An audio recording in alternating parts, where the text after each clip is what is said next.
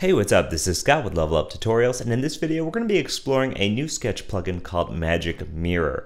Now, Magic Mirror allows you to essentially mirror an entire artboard onto another shape and allows you to use the perspective tools and things like that to then sort of modify that design to fit other perspectives. It's really great for creating mock-ups onto devices to just see your design in a new perspective, like what it might look like on a user's phone or computer screen.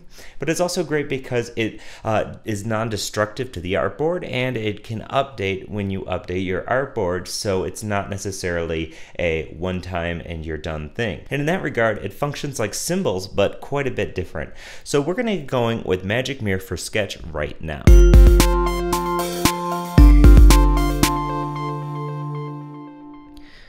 So here we have Magic Mirror. I'm going to post the link in this uh, plugin to the description in the video. And you can check this out. It gives you a nice little primer about what you can do. You can even see some examples here. They have this image here of the device on the phone and device on another phone and the device on the watch. And uh, in their examples, they show you some device in different perspectives. Now what this doesn't do is it doesn't automatically insert it into one of these images. For that, you'll need to do some masking and stuff like that of your own. However, what we want to be able to do is to make this perspective on this device and then be able to use this plugin to make this image itself. So here we have the Magic Mirror plugin where we can download this and it says that uh, for it's free for personal use but for commercial use please consider donating which I would highly recommend doing. Uh, you can do so at this page where it's just uh, you can donate $5 really nice and easily. And what's cool about donating is so as you can see, you can just come in here and quickly donate uh, via PayPal, and I would highly recommend doing that if you're using Sketch for anything sort of professional. But what's great about donating for a plugin like this is they actually give you a little bit of incentive. However, they can, you see that they give you a special package if you in fact donate. So it gives you a Sketch file, the package, and a license for commercial use. So you should definitely consider donating if you like this plugin. So let's check it out. Uh, you can grab it pretty easily on Sketch Toolbox. So we'll just type magic and we can go to Magic Mirror and let's click install. Now I'm going to open up a file that we were working on before where we have this design. Uh, we had this in the CSS1 where we're using CSS to control this layout. So we have an iPhone uh, artboard here and we're going to want to turn this into a magic mirror. Now to show you how easy it is to get going, we're just going to make a new artboard and it's not going to be any specific dimensions here.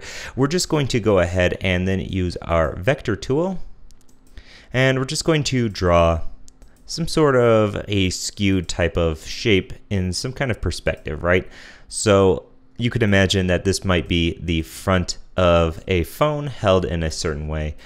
So here we have this vector path, and what we really need to do is we need to give our original artboard, this iPhone 6, we need to give this artboard a new name. We're just going to have this name be phone layout, like so, and I'm going to copy the name in here just so I have it in my clipboard.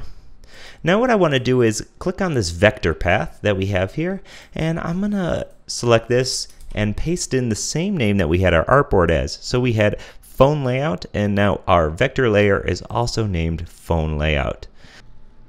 So we're just going to come to plugins and then magic mirror. Now what we can do is simply do this magic mirror or as you can see we can do control shift and M. So I'm going to go ahead and do the command here, Control Shift M. And if you'll notice, uh, nothing happened immediately.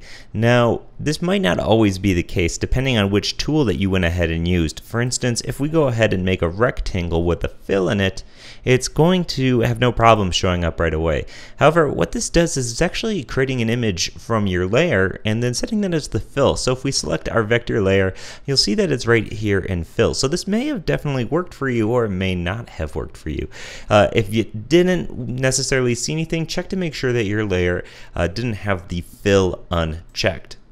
Okay, now we can also make a rectangle here and then we can use some transform tools to skew and rotate this, put this in maybe some bit of a perspective here. Maybe it's sitting on a table and you're looking at it from above or something like that.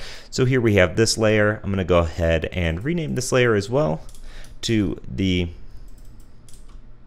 phone layout layer. And I'm going to once again do Control Shift M and as you can see, this time it pasted in here and it looks like it's not quite the right orientation.